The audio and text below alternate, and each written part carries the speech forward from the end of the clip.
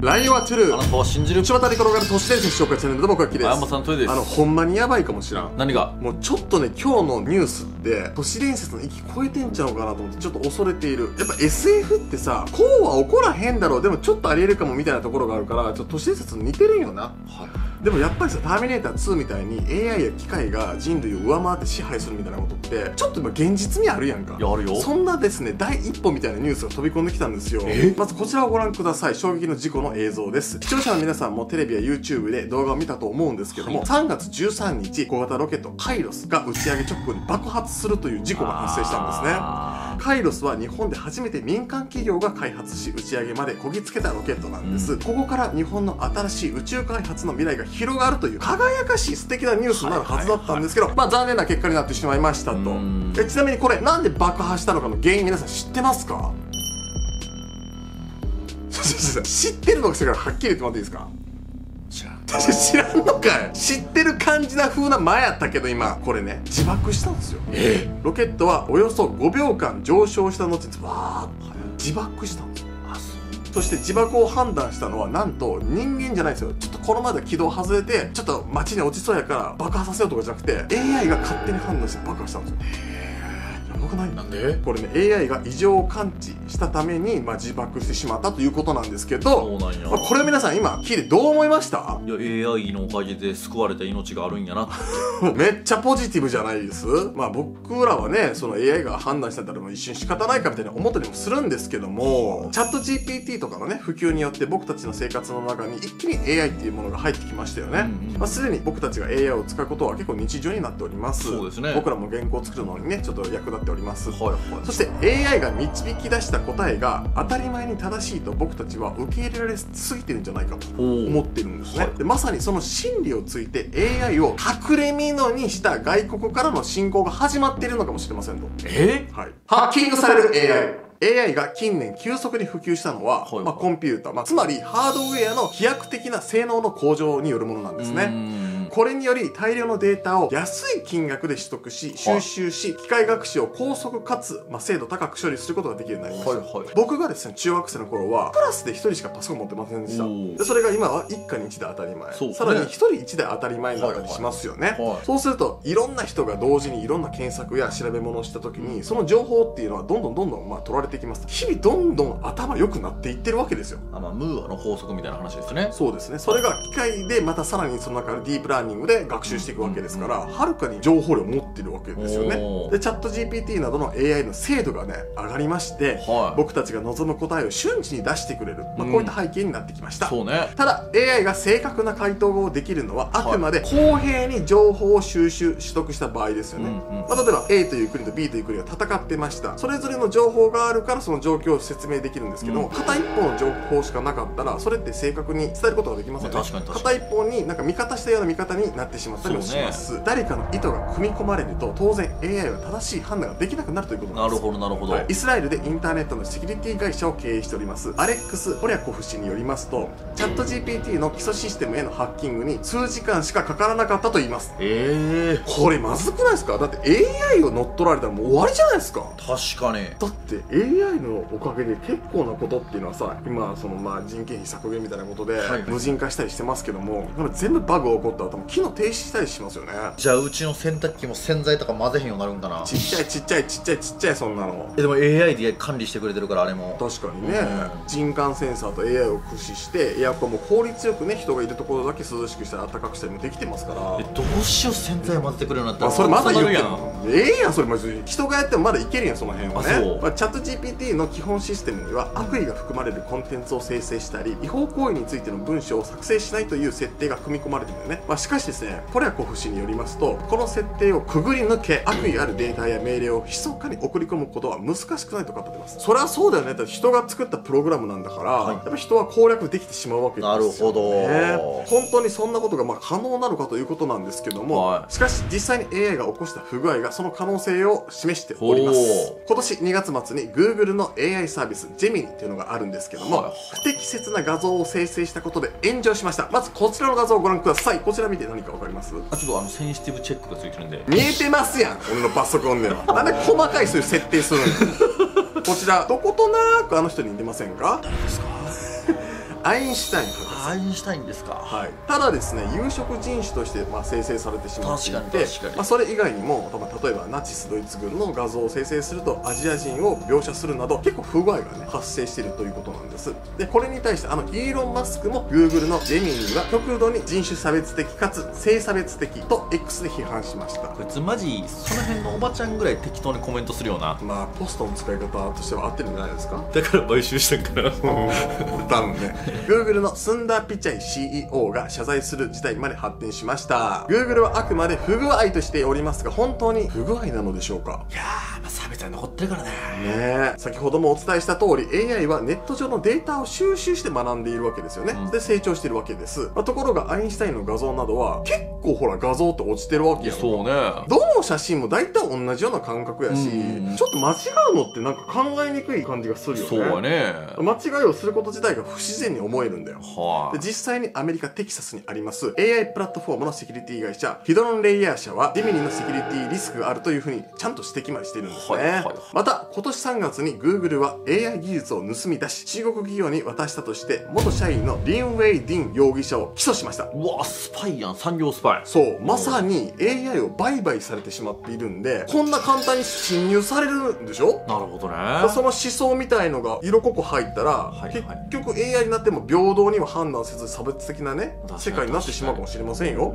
これちなみにディーン容疑者は2019年に Google 社に入社。ソフトウェア開発などに従事しておりました、ディーン容疑者は職務の一環として機密情報にアクセスすることが認められていた社員らしくて2022年5月21日から2023年5月2日にかけて社内の機密情報を個人の Google アカウントにコピー。密かに中国企業へ渡し始めたそうです。やば。わりかし足跡つきそうやけどな、まあ、ついたからまあ、まあ。使ってるやろうけど。日本もね最近ありましたけど。莫大な金もらってんやろないやそうやと思うよ。捕まったとしても全然へみたいな金額を多分もらってんだろうな、まあでもねこれこそもう数百億、数千億の技術ですからね。そうよね。もう10億ぐらい渡してもいいんじゃないですか？全然いいようん。ねでこのニュースでは AI の情報とあるだけで不具合を起こしたジェミニであるかどうかは具体的には分かっておりません、はいはい。しかし Google の AI 技術が流出していた事実が存在することはあるわけですよね。実際に。Google の AI プラットフォームの弱点が外部に持ち出されハッキングを受けた可能性もあると考えることができます。なるほど、まあ捕まるだろうけどね。出てくるだろうし、はい。国家の機密とか漏洩したわけじゃないやんか。ここはお金天秤かけたんちゃうかなあわよくば見つからなくて済む。見つかったら別にお金あったらええわみたいな、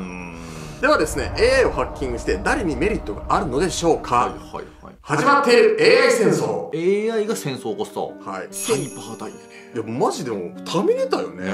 近年僕たちの生活にこれだけ浸透してきた AI 当然それは戦場にも浸透しております。現在も続いておりますウクライナ・ロシア戦争。3年目に入ったこの戦争に対し今年3月10日ウクライナのタムイシン戦略産業省は今年は AI と無人兵器の年になると発言、うん。僕ねこの軍事的なことが何か表に出てる時ってもう遅いと思ってんだよ。そうね。そうだからもうとっくにやってると思うんだよね、うんだからロシア・ウクライナ戦争に至っては俺あんまり兵士実は出てないんじゃないかと思ってるのね。ほうほうだからもう結構さ X でも衝撃的な戦場の動画とか見るけどなんかドローンが追い詰めてさ攻撃爆発してはいはい。相手の兵士を殺したりしてるやんか、うんそれ見た時にこれ完全にターミネーター2の未来のシーンそのものやとそう思ったんね。です、あれもなんか円盤状のさものがプーって飛んできてってなってたから危なかったなめんどくさいわシュワちゃんの真似して全然似てへんのに。っていうことになってるわけじゃないですか。もうこれが出てる時点でもう何年も前にそうなってるんですよ。だから今はもっと進んだ AI のロボットとかが戦場を歩いてるっていうか飛んでるんやと思うんですよね。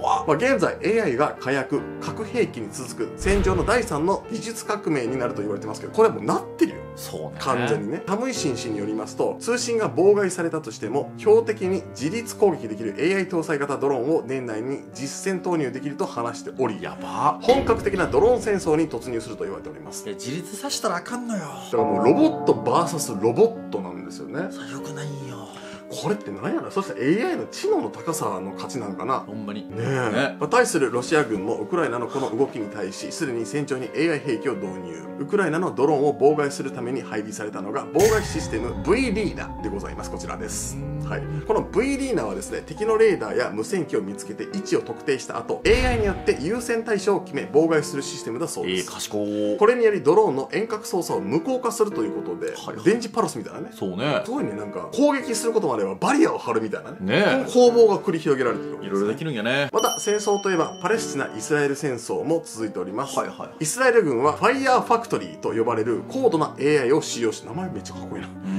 敵勢力の補給ラインを分析。空爆の標的を選定していると言われております。なるほど。昔さ兵糧攻めじゃないけどさその兵糧っていうのはその戦地にさ欠かせないものじゃないですか。例えば兵糧っていうのはその兵士たちの食料や水のことを指したりするんだけどもこの兵糧が途絶えるだけでも送った側がめちゃくちゃ処罰されたりするんだよね。途絶えてしまったんでね、それぐらい兵糧ってめちゃくちゃ大事でもう腹が減っては戦ができないってそのままなんで。確かにそうだから戦地で兵隊を攻撃するよりもそういう兵糧攻めをした方が実は効果的なんじゃないかとこの AI で分析して、まあ、追い詰めていくとはいい。うことですね、まあ、つまり参謀役として AI が活用されています。うん。これはつまり軍師です、そうね。はい、でこの AI の恐ろしい点は収集する膨大な量のデータにより判断が正確に下されることですね、はいはい。むしろ人間の判断を抑制することで犠牲者を最小限に抑えることができると考えられますがまさに人を殺すことが機械的に行われている状況となります、うんこのように戦争の最前線では AI が今活用されております、は AI 戦争すでに始まっているんです、まあ、そのためですね現在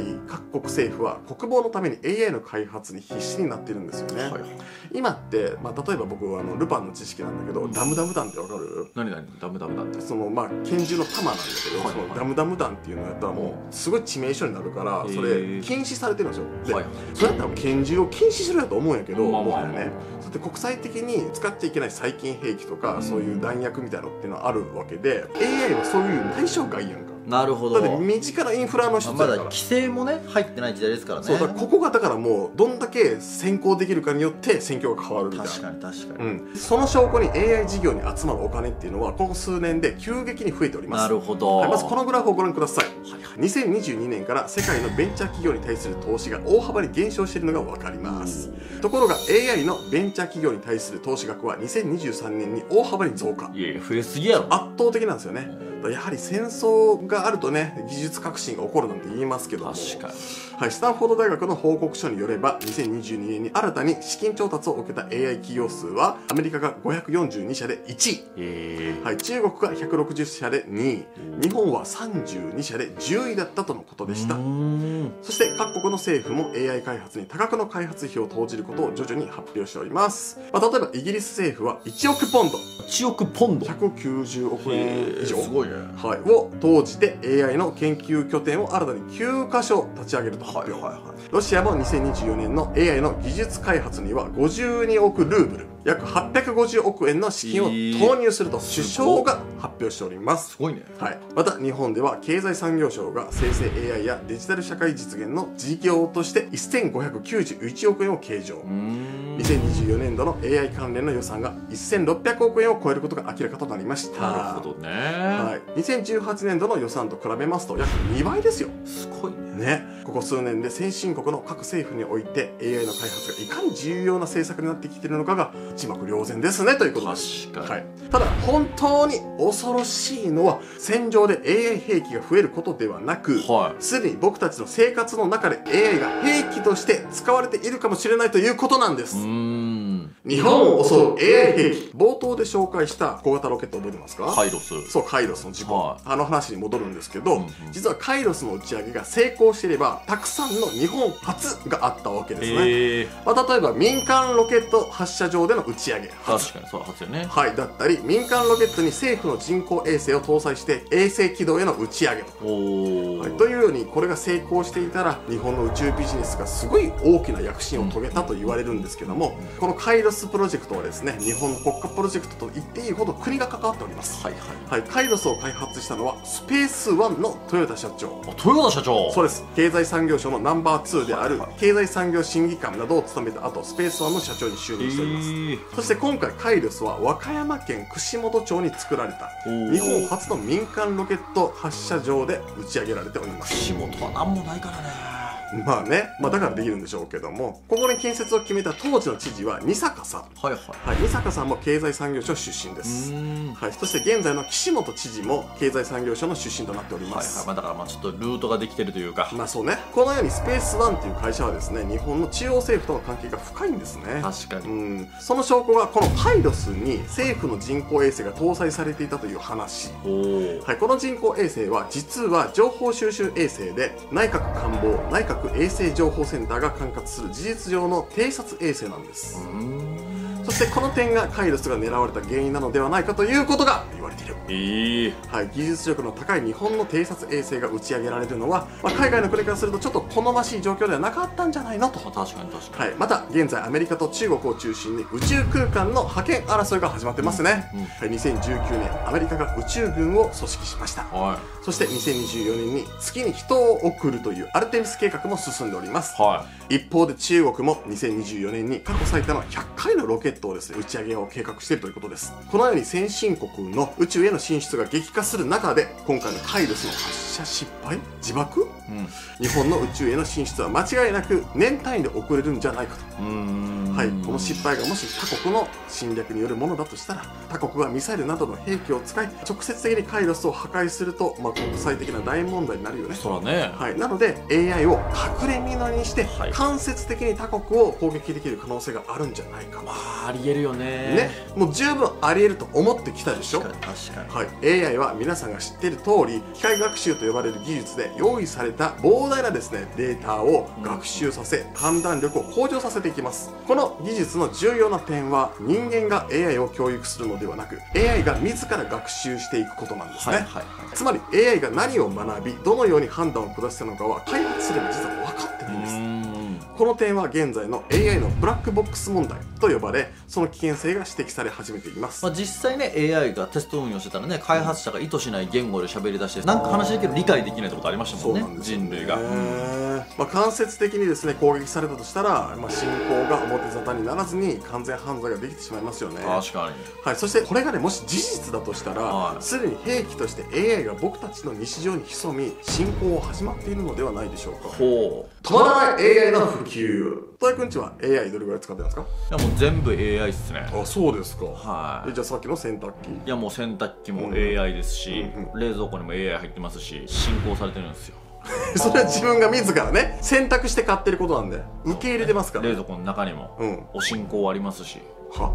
進行されてるんですよ。しょうもないよねお進行ギャグこれも AI が言ったらウケるってチャット GPT が言ってた。あそれポンコツすぎ。大丈夫ですか？すでに AI の利便性だけではなくその危険性についても国際的な枠組みで指摘されるようになってきました。まずですねこちら AI 兵器。去年12月に国連総会で人の関与なしに効率的に人命を奪う AI 兵器を非人道的であるとして非難しました。はい。国連の軍縮部門のトップを務める中光泉事務次長は機械が人間を自律的に標的にすることは超えてはならない道徳的な一線であり国際的なルールを緊急に策定すべきだ、と訴えました。今更言っても遅ないって思うね。そうよね、ん。もう始まってるからね。そう、まあ、ただ国連総会における AI 兵器の決議に対してロシアなど4カ国は反対してるんだよね。中国やイスラエルなど11カ国は棄権しております。使ってるからよ。そうやね。でここでも AI に関する各国の戦争が始まってると言えますよね、また EU では AI そのものに対する規制も始まっております、はい2024年3月13日に欧州議会で世界初となる AI を規制する法律欧州 AI 法が制定されました。法案では AI のリスクを4つに分類。公的機関が点数化し信用評価を行うことなどが示されていますがはい。すで、に未成年者に危険な行動を促す音声 AI システムなどは使用禁止に指定されております、でこのように一気に普及が進んだ AI により発生した問題に対して世界規模での対策が進んでおります、はいはい。その圧倒的な拡大のスピードはまるで AI が本格的な速さで繁殖を続ける生命体のあるかの確か感じの印象ですよね。にいやネズミとかより早いね。ね。うん。しかし AI は繁殖する害虫などではなくあくまでも人が作ったものです、うんはい、AI の進化が誰かにとって都合のいいものになる可能性は十分にあり得るんですね、はいはいまあ、例えば僕たちが日常的に利用する EC サイトの商品のおすすめシステムで AI が活用されたりもしてますよねそうね。でこの AI を通したおすすめを利用したら気がついたら身の回りの商品が特定の国のものでしかなかったとかね、はいはいはい。なんてこともあるかもしれませんよ。ありえそう。はい、このように僕たちの日常から少しずつ、まあ、AI を通した進行が進むかもしれません、なるほど、はい、しかし最も恐ろしいのは緊急時に AI が機能しない可能性です、はい。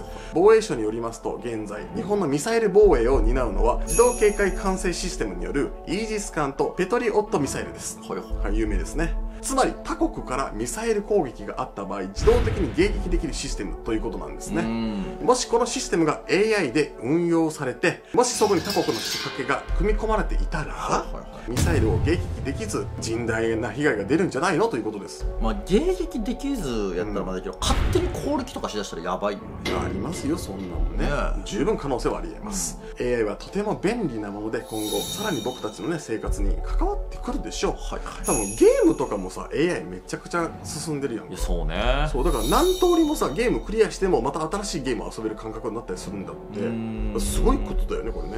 なんかねポケモン対戦とかもねこの間 AI が使われてましたね、あそう。ーじゃあすごい面白くなってくるよね。だからもう将棋みたいに、うんうん。この次はこの手がおすすめですみたいなのが出るみたいな、あーだから自分をやり込んでたらその戦略を向こうに取られて割りかしもうコンピューターに勝てないゲーム。になっちゃうかもしれない。なっちゃうよねこれねどうですか皆さんはねその AI を受け入れた結果他国に侵略されたなんていうねことになるかもしれませんけどもどうかねなんか使い方を間違えずにまっすぐねね。使っていきたいですよね。うん。まあ、昔はなんか技術の国日本と言われてましたけどもいつの間にかそういう技術ですらも乗っ取られているのではないかみたいなね悲しいニュースですよ本当に。怖いな AI な。ね AI ちょっとね本当便利なんですけどね。今がちょうどいい線引きな気しない。あと医療の分野とかはいいと思うんだよね。確かにねそう AI 診断みたいなのいいと思うんだけど。何パーでこの病気ですみたいなね。そう。だもうこれ以上あんまりもう技術開発せよえんちゃうか？そういう主義主張派閥。えー、AI を管理する AI 作るのどう？もういたちごっこじゃないですかそんな。管理するということはね優先順位が上ということだから。そうそう。だから意見順位を人間が一番上にちゃんと設定しておいて AI を作る。それでゴロせばえらいみたいなことだよでそうなるんやって絶対に。誰かが作ってるんやから。えでもね AI を信じよ一番信用できへんくないそんなんかご進行とかしょうもないギャグ教えてくるのに。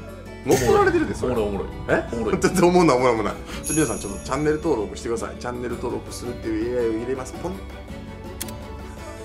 してくれた。これであれやねあの YouTube で登録者買ってるって言われるね登録者を AI に。言ってたただでさえ最近 YouTube めっちゃ乗るから怖い 怖いんやけど。ありがとうございました。はい。失えやしないよ思うがま君を連れて羽ばたきたい。いびつでもいい。秘密の通り。夜空に飛び立つ。心情のストーリー。